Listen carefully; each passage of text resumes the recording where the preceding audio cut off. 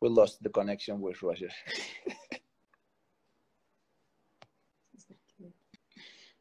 No.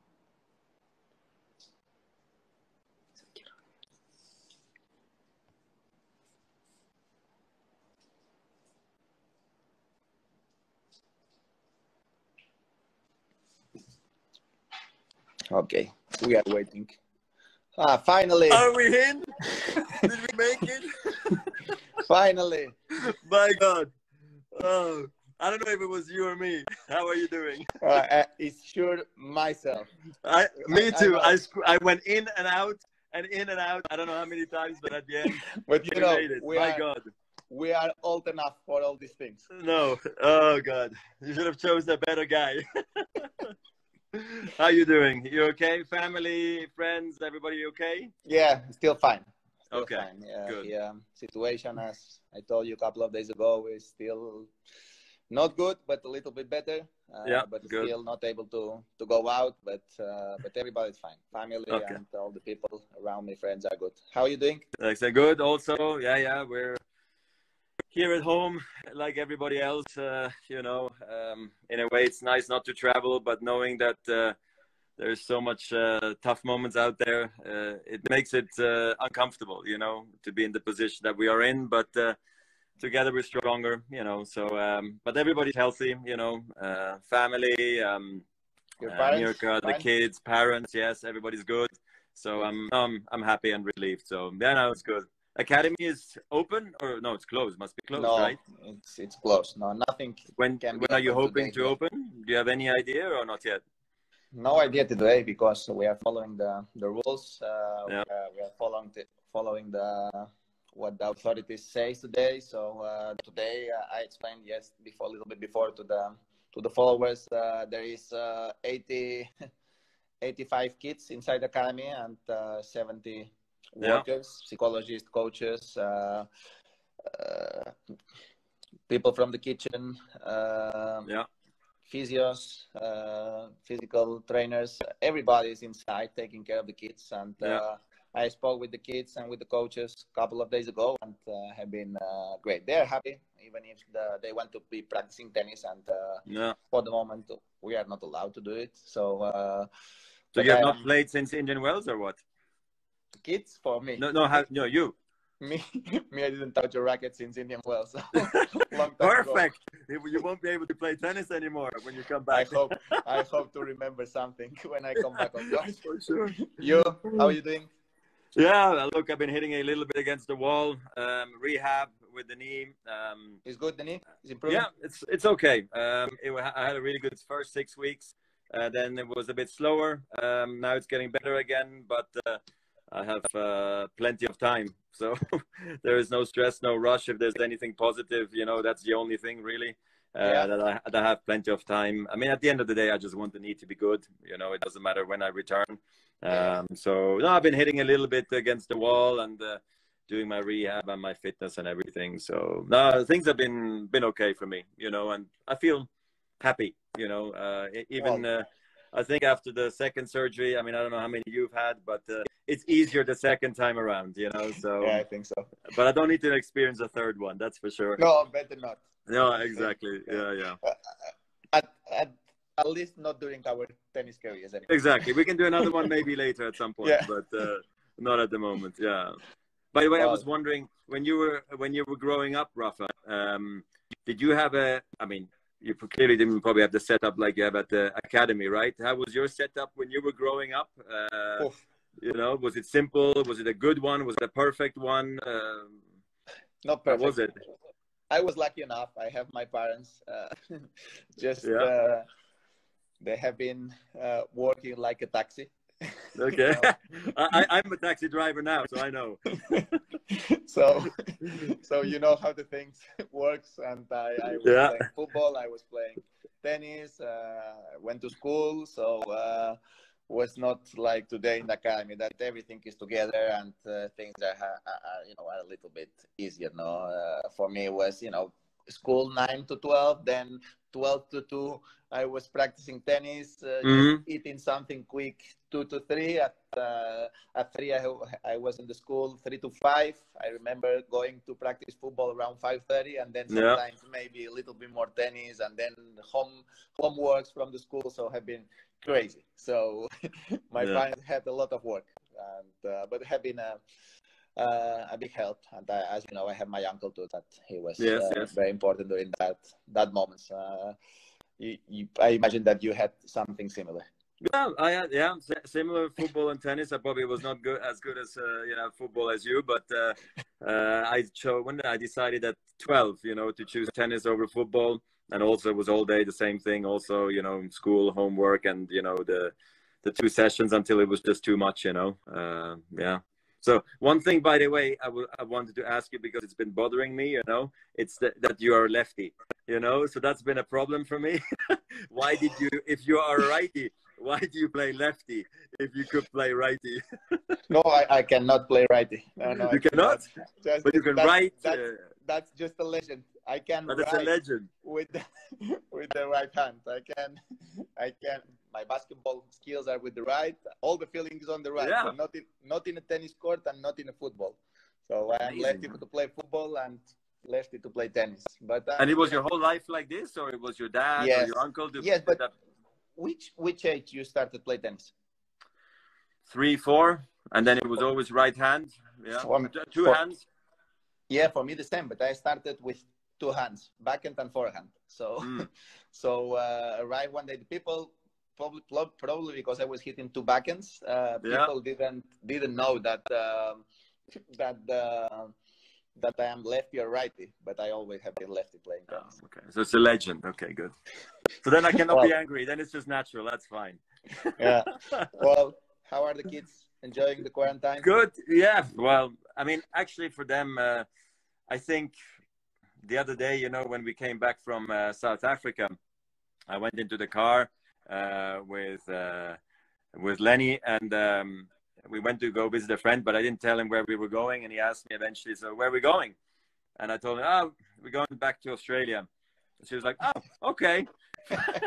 he was ready for a 24-hour trip, so uh, they were happy anywhere. You know, it seemed like, but uh, no, honestly, we're very happy to be in Switzerland, which is just uh, the part that's hard is that we obviously cannot uh, interact or see anybody other than Yeah, over yeah. the phone. Um, same with my parents and just you know the close ones uh, and the kids would love to play with other, but but honestly, our our life and our kids are so busy all the time and having four they can always also just be together and it's always uh, fun and, and exciting so no they're doing well and um, you know we're we it's good to have a routine as well. I mean we are very strong for routines in general you know with Yeah. with school with when to eat when to go to sleep. And i i think you when you have children you have to be or especially if you have multiple children you should be. And we do that. And especially now that we're home for so long it's amazing. You know we can go like okay on monday we do this on tuesday we do that. On the weekends we're off. And normally it's all over the place. We don't know what to do you know or what's going to happen really in two days. So Yeah, yeah. um so yeah no so everybody's good i must say um everybody's in good shape and healthy so that's great Well, Roger, I don't want to bother you. yeah Just, let me go uh, and take take andy because he's laughing at us i know that stands also I'm gonna, I'm watching gonna, I'm gonna take, I'm gonna, and I'm try gonna, to get gonna, andy I'm in because i know he's I'm gonna be waiting in too touch with Andy. How, how it's going to take like 10 minutes well, Roger, thank you very much for being here. Thank all, all the best to you the family and the touch. I hope academy to see you very, very soon. Okay. absolutely take Thank care you. i hope Bye, i can Andy. log out again Oh? No, no, no, hope no, I can no, no, log out. no, no, no. ciao, ciao. Bye bye. Thank you. Take Thank you. care. Bye bye. Okay, have been great to share these these moments with with Roger and I see Andy here that he's making fun of us. Hello, everyone. This is my favorite time of the day when the sun shines through my window and hits the rhino butt right over there.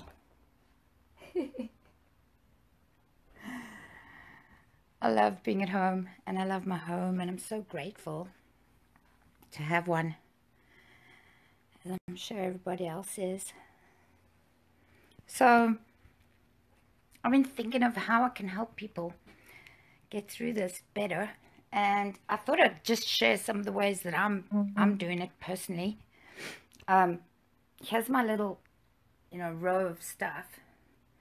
So I have water. I have CBD brain and body, immune power honey, which I haven't even opened yet. Zinc, vitamin D, vitamin C, and DHEA for me, woman, and Sammy. I also have Colomacavera, and I can leave you guys information on how to get a hold of it.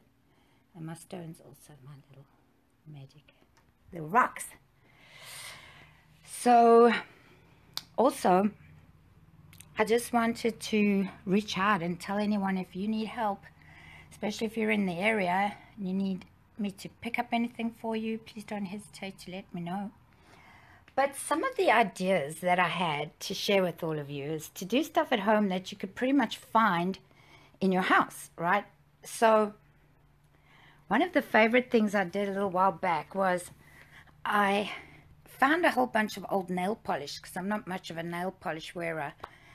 And I decided to start putting dots on things. And so this is one of the things that I actually made from nail polish. and even one of my little glasses broke. So I used the, the bottom of it to just decorate. And kids, I think, um, I, you know, everyone knows me as a dog person. but kids would um, really enjoy that. And this is an old rusty key that I just um, decided to work with. Um, I made some Christmas presents, you know, of last year and gave them little pots to put things in. And this I picked up quite a long time ago. I mean, this is really a fun thing, which we want to practice a lot of right now, um, to dot. And so I thought I'd even create a new pastime dotting. And there's some really cool colors. This one's a really nice blue. So you could even do, you know, shades of a certain color that you wanted. Anyway, that's one of the fun things that I like doing. And this is one of the hooks that I bought at the 99 cent store and it was black and white. So I used crayons and I dotted it. so that's kind of a nice idea because, you know, I'm sure everyone's got some nail polish lying around and some of it's probably all thick and you wouldn't put on your nails anyway because it's toxic. And so if you'd like to, you know, we can do some dotting together. Uh, yes, I mean, we we will uh, have to start up the society again, our societies again, um, sometime very soon, and that is already being done in many parts of the world. Um, so when we when we move out of this of this when we open up the gates or how, how you how you would put it uh, we we need to decide which which way we want to take which path we want to to to, to take. Uh, and that it's it's we have to think long term and think about the consequences and the long term impact of the, these different paths. Um, like for example if we want if we want a green stimulus plan if we want to to use this as as an I don't know if opportunity is is is the, is the right word but you, you get my point. Uh, to use this as as a situation to to move in the right direction and because we are whether whether we like it or not the world has changed and um, it's it, it looks completely different now than how it did um, a few months ago, and it will probably not look look the same again. We because the world has changed, and we we are gonna have to, to, to choose a new way forward. Um, sorry, I feel like I'm repeating myself, but I think one very interesting aspect in this Corona pandemic. I mean, some things it it changes. It changes the way things we touched in the beginning. It changes the way that we realize that we are actually depending on, on science and scientific evidence, and we need to listen to the experts and to the to the scientific data. and also it show it changes the way we perceive crises. Uh, I think that is a very big aspect, and also one one very interesting thing that we see is that people and we are now starting to to to see to how to to compare uh, individual human lives uh, against the economy. We are starting to to say like to do to make priorities, and I think that is um, an attitude that may be will hopefully become more more mainstream uh, after this crisis as that we we are shown that we cannot that human lives actually are being lost right now and we cannot just human lives cannot we cannot put a price on a human life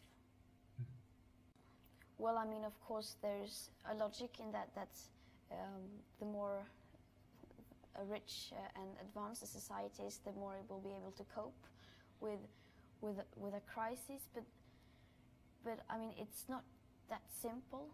I think if it's one thing that the corona pandemic shows is that our society as it is now is not sustainable. Uh, um, in any way, I mean, no matter how you want to define the world sustainable, if one single virus can can destroy economies in a matter of weeks, then that shows that we are not thinking long term and we are not taking these risks into account and that we are not resilient, that we are not sustainable. Uh, and I think that's not that's not an opinion to have. That's just we we can see that this is what it shows.